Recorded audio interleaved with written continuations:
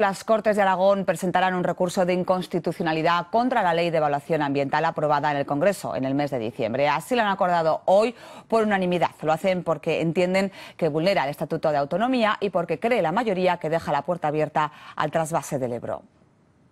Todos los grupos parlamentarios han votado a favor de recurrir ante el Tribunal Constitucional algunos puntos de la Ley de Evaluación Ambiental.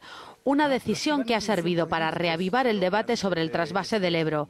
Junta Aragonesista e Izquierda Unida creen que la obra se hará porque el Gobierno central, dicen, es trasvasista. A los grupos de oposición les preocupa además que la ley deje la puerta abierta al trasvase del Ebro.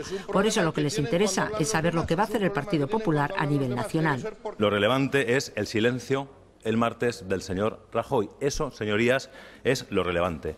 Porque quien calla otorga y el señor Rajoy el martes otorgó. El señor Rajoy el martes, con su silencio a preguntas directas y reiteradas del señor Yuste, otorgó a los trasvasistas. Habrá trasvase en el papel, habrá trasvase en el Plan Hidrológico Nacional, habrá trasvase en el BOE y cuando haya dinero suficiente o cuando consigan que haya alguien tan loco que desde lo privado pueda entrar en una colaboración público-privada, pondrán la tubería.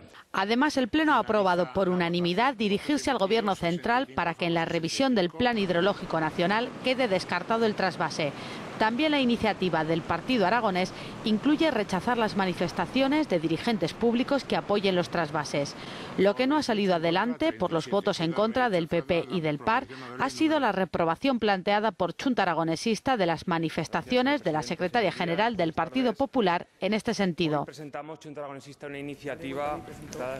Además, en ese pleno, el consejero de Presidencia ha reiterado que la sentencia del Tribunal Superior de Justicia de Aragón, que anulaba el Plan General de Ordenación Urbana de Montanui, en Huesca no paraliza la ampliación de la estación de esquí de Cerler.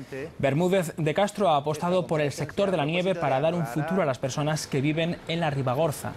Junta Aragonesista e Izquierda Unida han criticado que el gobierno aragonés recurra a la sentencia y han pedido otro modelo de desarrollo. Los socialistas han apoyado la decisión de recurrir y apuestan, como el gobierno aragonés, por las ampliaciones de las estaciones de esquí respetando el medio ambiente. El Parlamento ha mostrado su oposición a cualquier reforma de los registros civiles que suponga su privatización.